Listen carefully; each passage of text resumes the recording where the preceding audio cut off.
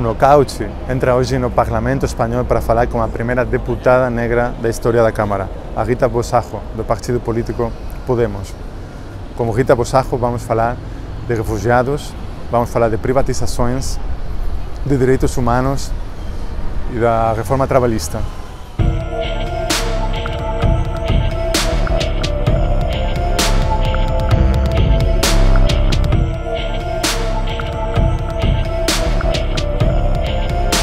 Bueno, eh, creo que se han lesionado gravemente eh, los derechos de la sociedad eh, a partir de las políticas eh, que impuso Europa a España eh, desde el 2008 en la que hemos tenido problemas en la sanidad pública, en la educación, eh, en, la- en general en las políticas sociales, ¿no?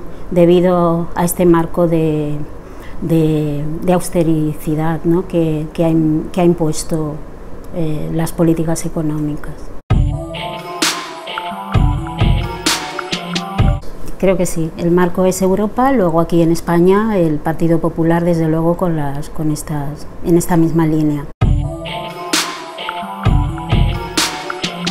Hay un retroceso enorme de la sanidad pública, eh, principalmente porque, porque ha habido una corrupción ingente en el propio Estado y lo ha utilizado eh, el Partido Popular como una forma ¿no? de establecer eh, eh, sus, tentáculos y el poder. ¿no? Desde luego eh, marginando a algunas personas de una manera eh, cruel y quitándoles el derecho a, la, sanidad pública, como es el caso eh, de la población migrante, con el decreto eh, 12, eh, 16 eh, barra 12. E- Expulsa del sistema sanitario a, a la población migrante sin papeles. Totalmente, ¿no? Y es un ejemplo claro de ello la comunidad valenciana, ¿no? Con el sistema Alcira, que afortunadamente el gobierno de cambio que en la comunidad mm, valenciana actualmente no le va, no le va a renovar ¿no?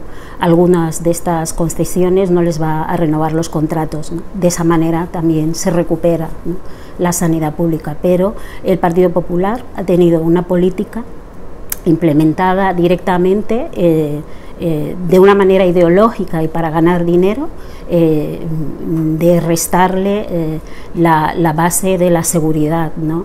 que, que tiene la, la- vamos, el tema de la salud, y, porque mm, su idea es privatizar, privatizar la sanidad pública, la educación, la, etcétera.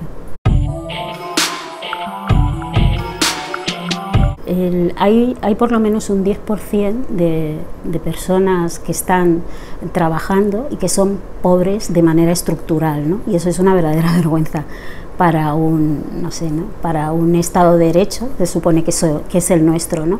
y si realmente está implementando unas políticas justas, eso no debería de estar pasando. Y las cifras se, se miden de, mame- de manera macroeconómica y no, y no mirando, ¿no? y no buscando eh, realmente el sufrimiento y el daño que hay detrás ¿no?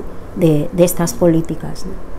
Y, hay un 48% por lo menos de personas que están en paro, independientemente eh, de esta alegría que parece celebrar el Partido Popular. La respuesta es en el marco en el que se le había ah, eh, determinado un número, el número de, de refugiados que había que recoger, acoger, no la está acogiendo. O sea que no hay ninguna respuesta excepto eso, ¿no? que, que realmente lo que se está implementando detrás de todas estas políticas es, una, es eh, crear eh, situaciones de em, eh, una ciudadanía de segunda clase ¿no? y que realmente no les importa la vida de la, de la población migrante. ¿no? Y, hay, y, es- y Europa y España en concreto tiene un verdadero problema con, la, con las migraciones si, si no se pone a desarrollar de verdad una política social de derechos, ¿no? apoyada en derechos humanos, ¿no? cosa que no está haciendo actualmente. Bueno, eh, ya lo ha dicho, ya lo ha dicho Pablo. eh, se hizo una reunión para, para justamente ¿no? hablar de estas alianzas a ver de qué manera eh, se puede implementar eh, política eh, teniendo en cuenta a las personas y yo creo que es una solución el determinadas cuestiones las lleguemos a un acuerdo con el Partido Socialista, ¿no? porque si no, no lo podemos hacer de otra manera.